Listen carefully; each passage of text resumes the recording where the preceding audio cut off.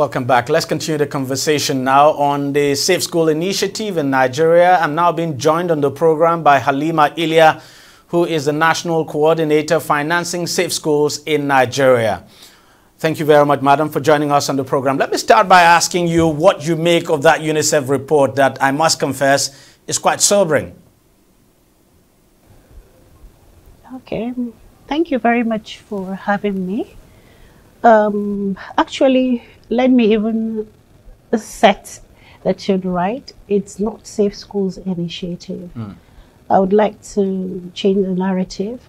You know, the Safe Schools Initiative was actually launched in 2024 mm. to address the issues of um, victims of attacks. That was the Chibok incidents where 276 children were abducted. Mm. So the Safe Schools Initiative was launched to enable the victims to continue with their education unhindered. Mm. So, um, alongside, I think that was just to address that issue.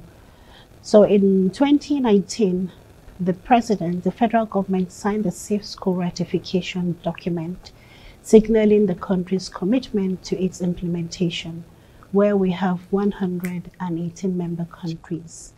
And the issues of safe schools attacks on education was reoccurring for a lot of stakeholders.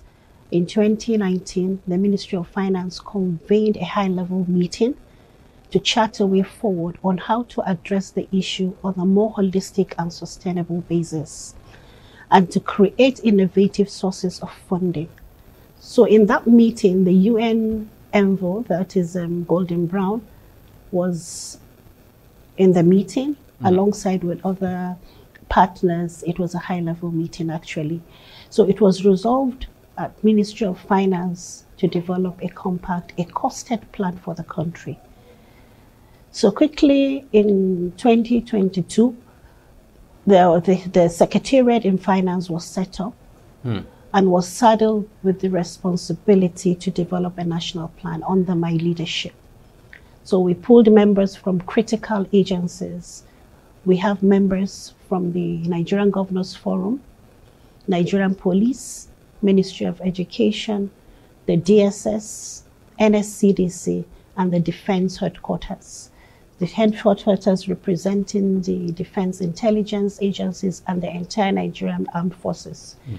So we came together and developed a national plan between 2023 to 2026.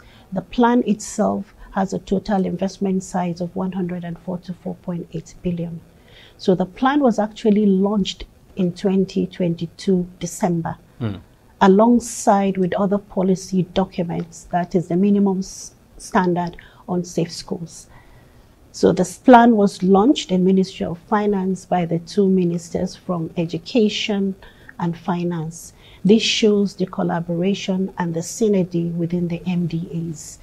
So by 2023, we started implementation of the plan. Mm. We're able to establish and flag off the first Safe Schools Response National Response Coordination Center. That is the first in Nigeria of its kind, manned by all the security agencies. The essence of that Safe Schools Coordination Center is to disseminate information and also for quick response to detective and responsive agencies. And we intend to replicate same at the state level and at the local government level to integrate the centers to the national center. So right now, presently, we're working on harmonizing the SOP of the center. You might not feel the impact um, currently mm. uh, because we started the full implementation late last year and um, the federal government gave provision or released 15 billion to the implementing agencies for implementation. So where we are currently is the security agencies have mainstream safe schools, which is the first phase of implementation, have mainstream safe schools, have built capacity of their personnel across the country on the safe schools program. And um, recently, I'm sure you witnessed that of um, police, where they um, commissioned 200 motorcycles that would be deployed to states. Mm. They already have um, police safe school squad, and these officers have been trained, and all the DPOs across the country have also been So that capacity building is very important because, um, you know, the safe schools, we're looking at it, an entire different strategy and approach to see how we can strengthen the security, detection, deterrence, and response capability. And um, we're embarking on the second phase of the implementation. We hope to have a national campaign so we, we invited all critical stakeholders, including the Nollywood, the private sector, would all be in that meeting. Mm. The essence of the meeting is to come together, let's with CSOs and NGOs. We want Nigerians to own their project. We want to embark on a nationwide campaign. So it's a planning, strategic planning stage for it to be very effective. Then we intend to visit communities that is the most at-risk communities in the country and the most at-risk schools. We have written to all the 36 states. We have addressed about 19 governors and we're beginning to see the commitment from the state government. And the state government have also made provision in 2024 for the Safe Schools program in their uh, budget. So we wrote a letter to them for the state to have a level of ownership of the project to select the most at-risk schools, which will lead us to most at-risk communities. Then the intervention will be tailored towards those most at-risk community and most at-risk schools. So what we did was collectively, the technical working group, we had a meeting and we resolved at having in the three senatorial zones to have five primary schools, five secondary school, five senior secondary school, and one tertiary institution to start on pilots. So mm. each state is expected to provide that information. Uh, so, so how many states are you looking at starting with? We're looking at starting with 18 states on pilots. So the 18 states are classified as the very high risk states. And these very high risk states, we chose the very high risk state based on the reoccurrence of attacks and also the peculiarities of those states, the threats because we have to do threats analysis. And the information we got, we were guided, the decision was actually guided by the mm. security agencies and the intelligence agencies. So we intend to start with the 18 states, but we've got a response from virtually almost all the states by furnishing us with information of the most at-risk states. Now, now, sorry to interject. W would Kaduna and Sokoto states be among those states? Because in that UN report uh, now, the, the, report actually raised concerns that not much uh, has actually been done in terms of guaranteeing safer schools in Kaduna and Sokoto state. And these are two states that have been badly impacted as well. Yeah, absolutely. Kaduna, especially, I'm um, in touch with the with the um, the, the, leadership in Kaduna. I even had a conversation with the permanent secretary, and um, we told them we're coming. We're, we've um, written a letter, and um, we hope to be in Kaduna very soon. And all the implementing agencies have identified topics that we're going to address when visiting some of these communities. And we intend to build security resilience of the entire host community and getting them into the security architecture by training them on intelligence. So we have done that. We have um, we have shortlisted the topics and um, we want to even forward it to NOA for interpretation into local dialogues so that it can be more um, impactful we have series of trainings, we have levels of trainings, I mean, we have for the schools communities and we have for the entire host community. And we intend to train the children and the parents, which covers the host community, I mean the schools community on psychosocial support. And um, we're working on the materials, which we hope to visit Kaduna very soon, including Sokoto is actually shortlisted. Now, you, you look at that UN report, one very sobering statistics from, from that report uh, for me is the one that says, as of 2021, 1 million children were afraid of returning to school. And in 2022, the 2020, I should say, around 11,500 schools were closed due to attacks. Now, that's according to Policy Weekly by, by Nextier. Now, you look at these children who are afraid to return to school. The, the, report says 1 million, but the truth is that it could be more than that. Is there anything that your organization is doing apart from ensuring schools are safe? What are you doing to convince parents to send their children back to school? Okay, I, I like that question because if you look at the national plan, it's a robust plan and um, its whole society approach Everybody is a stakeholder. You that is throwing these questions, you are equally a, um, a, a stakeholder in whatever government is doing. We have a plan specifically that will take care of those children out of school. So presently what we did was we wrote, we designed a template to the schools, to the affected, I mean states, to the affected states.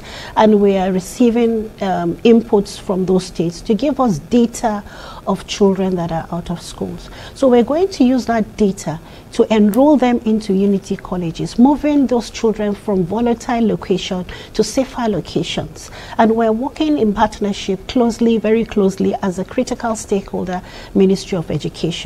Like just yesterday, I got a report of those states that have responded. So we'll have a subcommittee that would look at the numbers of those that we can quickly enroll into schools. The essence is to get those children back in schools to safer locations for them to continue with their education. So I think it's a very good step the government has taken. Um, you know, a journey of a thousand miles starts with the steps. Mm. So we have taken the steps and we'll surely get there would your organization be, uh, say, be involved now in, in the reconstruction of, of, some of these schools? Because some of these schools are in, in terrible shape. You look at Kuriga, the, the last incident, of course, that school is in a very horrible state. It's not even fenced at all. W would your organization be, be involved now in, in reconstruction of schools? Yes, definitely. In the plan, we have provision for um, physical infrastructure that is fencing of schools. So what we intend to do is, like for instance, let's take Benue State. Mm. We were in Benue. Benue have submitted the list of vulnerable schools and we advise them to conduct a survey. Let us have an idea of how much it will take to fence some of the schools. So the plan, looking at the gaps in funding, the federal government, the state government, and the local government. We have to look inwards. Let us have tidy our house by getting the local contents first before we extend to, to partners to support us. Let us show commitment, political will, and seriousness towards what we're doing. So we have done that. The government has played its role. The state government has always made contribution um, in, I mean, uh, budgetary provision in the 2024 budget. And we intend to reach out to interventionist agencies. And as part of the discussion we had with the partners, we realized that these interventionist agencies have funds lying. So we intend to, um, you know, to reach out to UBEB to support in the infrastructure mm. to support in fencing some of the schools. So as we're coming with the intervention, the play the state is playing its own role. The interventionist agencies are playing their own role. I think with that we should be able to achieve the goals and objectives of the entire plan itself. So how deep is your pocket to carry out some of these projects? Have your partners been responsive in, in terms of donations? Well, yes like the meeting, strategic meeting we're holding, we've reached out to the partners, we've reached out to NGOs, and um, we're seeing commitment. But I want you to have one thing in mind. Before any partner takes you serious, mm. there has to be a level of commitment coming from our own part. So right now, like I mentioned earlier, the implementation, we started full implementation late last year. So it's still work in progress. Hmm. By the time we got to a certain level, that is when we'll now call partners. And we're also, you know, like the World Bank projects, you have the Agile Design for the Adolescents. I just mentioned the transfer program to you. Mm. So for those transfer program, definitely there has to be a cost tied to it. So we intend to reach out to the World Bank to support in the area of scholarship. So already the partners are responding, which is, um, mm. uh, you know, showing commitment to support what we're doing in the country. This is a plan, it's a national plan and we're at the implementation stage. And the Kuriga community, even the armed forces, they're doing their bit. From the engagement I had with the defense, chief of defense, they're also working towards ensuring the entire community is being saved. Mm. Because in the plan, those communities that are porous with no security presence at all. We intend to have like a military formation around those communities and also train the vigilantes and the hunters. We have specific trainings for the vigilantes mm. and hunters in the community because the locals understand the terrain more than you and Absolutely. I. Like what happened in Kaduna, these people, the community, they saw them. They were in the community. I think they even spent the night, they passed the night there. Mm. But the community were, were, you know, they couldn't know what to do. They were helpless.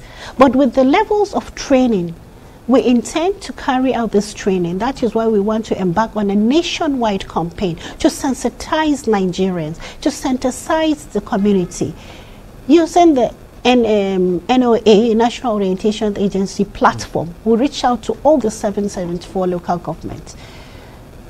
All right, I think we just have to leave it there. Halima Iliya, National Coordinator, Financing Safe Schools in Nigeria. Thank you very much, madam, for coming on the program. We thank you so very much for your time. Thank you very thank much. You very well, I'm afraid that's how much we can take on the program this week. Thank you very much for watching. I'll see you again next week. Bye-bye.